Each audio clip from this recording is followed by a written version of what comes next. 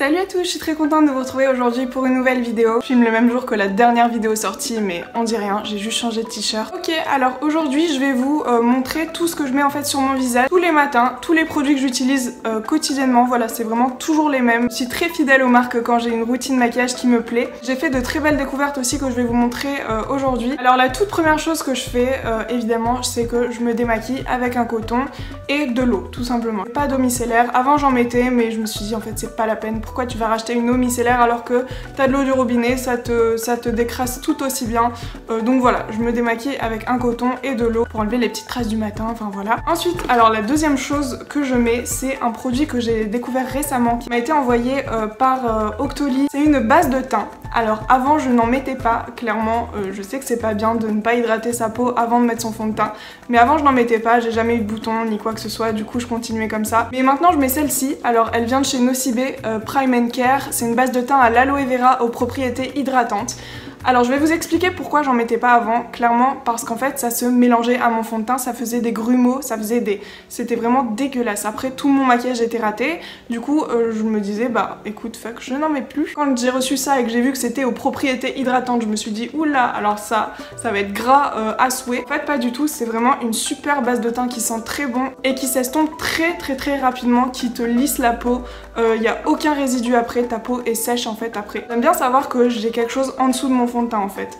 Euh, donc voilà, je suis vraiment ravie de ce produit et pourtant Nocibé c'est pas forcément une marque que, je recommanderais en temps normal mais là euh, je suis vraiment ravie de ce produit. Donc ensuite après la base de teint je mets évidemment mon fond de teint qui vient de la marque Yves Rocher. Fait clairement très très longtemps que j'utilise euh, le même fond de teint. Il est vraiment très très très aérien, il n'est pas trop couvrant clairement pour les personnes qui ont des petits soucis de peau. Il est vraiment pas du tout couvrant, c'est vraiment histoire que je sois moins blanche. Hein. Moi c'est vraiment pour ça que je le mets. Zoé s'il te plaît Donc c'est le Pure Light, c'est en teinte beige de sang et voilà, c'est un fond de teint un peu illuminateur, il laisse un petit peu la peau grasse après.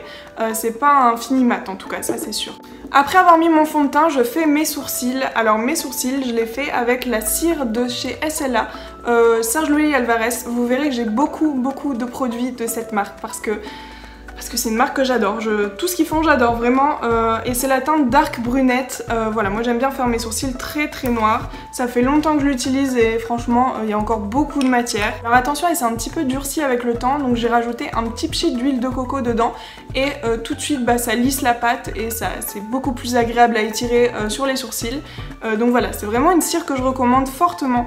Ensuite, après avoir fait mes sourcils, euh, je m'attaque aux yeux, euh, donc je mets un tout petit peu de colle. Ensuite, euh, donc toujours de la marque SLA, et c'est tout simplement un blush en fait de chez SLA. Alors vous voyez qu'il est déjà un petit peu creusé, parce que je l'utilise clairement tous les matins. c'est une teinte que j'adore, qui, qui, donne un petit peu de peps dans le maquillage. Et en fait, c'est le blush Pink in Cheek. voilà, c'est tout simplement un blush qui tient très bien en fard à paupières. Alors pour mes paupières, j'utilise aussi euh, la palette de chez Sephora euh, qui s'appelle To Take Away et c'est la euh, Intense Coffee Collection. Alors comme vous pouvez voir, il y a plusieurs teintes qui sont vraiment faites pour moi en fait, c'est dans, les dans les tons chauds et moi j'adore ça et comme vous pouvez voir au swatch, ils sont très très très pigmentés. alors un petit peu poudreux c'est vrai, j'aime pas non plus le pinceau donc j'utilise le mien hein, généralement mais sinon c'est vraiment de la bonne qualité. Ensuite en mascara, alors là c'est vraiment du basique, c'est toujours du SLA, sauf que j'ai remplacé la brosse par un autre parce que la brosse de SLA me convenait pas. Et c'est toujours un SLA, celui-ci c'est le Oversize. Il est très bien par contre, il n'allonge pas assez mes cils. Du coup souvent je rajoute un petit peu de celui-ci. Celui-ci c'est vraiment celui qui correspond le, le, mieux à mes cils en fait, qui accroche le mieux mes cils. Ça fait très longtemps que je l'ai, j'attends de le terminer d'ailleurs. Ensuite ce que je fais c'est que je mets un petit peu de bronzer euh, donc juste là et un petit peu sur mon front ainsi que sur mon cou. Pas faire une trop grande démarcation. Euh, c'est celui-ci, euh, donc il vient de chez SLA, toujours vraiment c'est une marque que j'adore, j'apprécie fortement. C'est une terre de soleil et ça apporte vraiment un truc en fait, c'est vraiment ma teinte, ça fait vraiment très naturel. Alors pour l'highlighter c'est tout un travail aussi. J'utilise tout d'abord le Marie Luminizer chez The Balm, donc vous voyez que je l'ai vraiment fini à fond, mais il en reste encore un tout petit peu, du coup j'essaye de creuser vraiment dans les coins. Je mets une première couche en fait, euh, tout là sur mon... je sais pas comment ça s'appelle. Et ensuite, euh, je sais pas si vous vous souvenez, mais je m'étais procuré la palette d'highlighter de chez Kat Von D. Euh, donc voilà, j'utilise ces, trois couleurs, je sais pas si vous verrez bien. Celle-ci, c'est vraiment ma préférée. Elle, elle, est vraiment très très flash, mais je l'adore. Et voilà, pour l'highlighter, c'est tout ce que j'utilise, et c'est déjà pas mal. Ensuite, pour les rouges à lèvres, j'utilise, alors j'arrive plus à m'en défaire vraiment, c'est ma marque préférée. C'est les lingeries de chez NYX, hein, voilà, pas trop de surprises. Euh, je reste dans ces teintes là généralement. Aujourd'hui par exemple j'ai mis le exotique, euh, je le trouve magnifique. Ça n'assèche pas les lèvres et ça c'est vraiment trop bien, ça fait un fini mat mais vraiment le mat euh, trop beau quoi. Ah et récemment aussi Flo m'a acheté pour mon anniversaire, en plus de certains rouges à lèvres NYX, il m'a acheté aussi le fini velouté de chez NYX. Alors ça faisait très très très très très très très longtemps que je voulais un spray fixateur de maquillage. Alors moi personnellement je n'y croyais pas, j'y croyais pas parce que tout le temps mon fond de teint, mon highlighter il partait au bout de 3 heures mais pour moi c'était normal, enfin voilà. Et en fait j'ai découvert ça mais genre trop trop bien, je suis trop contente de l'avoir, c'est euh, une longue tenue, c'est le setting spray. Et euh, il, a, il, a, coûté 7,90€ il me semble, euh, il sent très bon, ça fait un fini assez glowy, enfin je sais pas, ça te fait un effet bonne mine. Et en plus de ça, bah maintenant mon highlighter tient toute la journée. Donc je suis vraiment ravie. S'il faut le racheter, franchement je le rachèterai. Il n'y a aucun sponsoring dans cette vidéo clairement. NYX c'est vraiment une marque que j'adore. Et j'ai vraiment été agréablement surprise euh, parce qu'à la base quand il me l'a acheté je me suis dit bon c'est 7,90€ dans le vent parce que pour moi ça ne marchera pas et en fait bah, c'est vraiment génial. Donc pour finir cette routine de make-up favori, je voulais vous parler d'un stylo. En fait c'est un gel de parfum. Alors là, c'est la marque Yves Saint Laurent avec le parfum Black Opium dedans. Alors c'est le parfum de ma maman, donc j'adore. Et en fait, c'est du gel en parfum, donc vous pouvez l'emporter où vous voulez.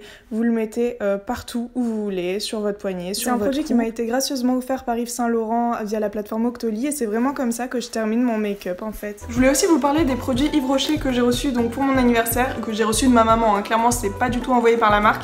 Elle me l'a payé euh, très gentiment et gracieusement. J'ai reçu euh, donc des gels douche euh, qui sont concentrés en fait. J'avais déjà eu l'occasion de les tester parce que la marque m'avait envoyé des tout petits formats concentrés et j'avais bien aimé le concept. Ils sentent très très bon, mon préféré c'est vraiment celui-là. Ensuite ça faisait très longtemps que je tannais ma maman pour avoir un auto bronzant. Alors clairement ça c'est du naturel, hein. c'est du cramage naturel vraiment.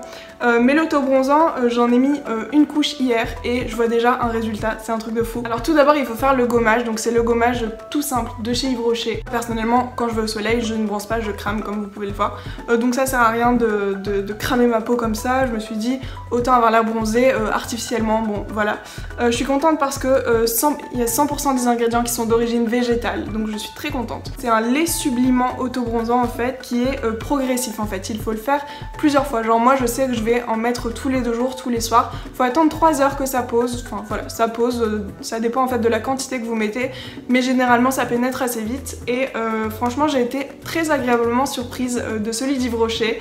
À la base, je vous avoue que euh, j'ai failli mettre dans les, une cinquantaine d'euros dans une bouteille Saint-Tropez ou euh, comment ça s'appelait aussi? Celui de Sandrea. Celui de Sandrea, je le trouvais magnifique. Bref, j'ai failli mettre énormément dedans alors qu'en fait, bah, celui-ci m'a l'air de faire très bien l'affaire. Au bout de, de 5 applications, je pense que j'arriverai au résultat souhaité.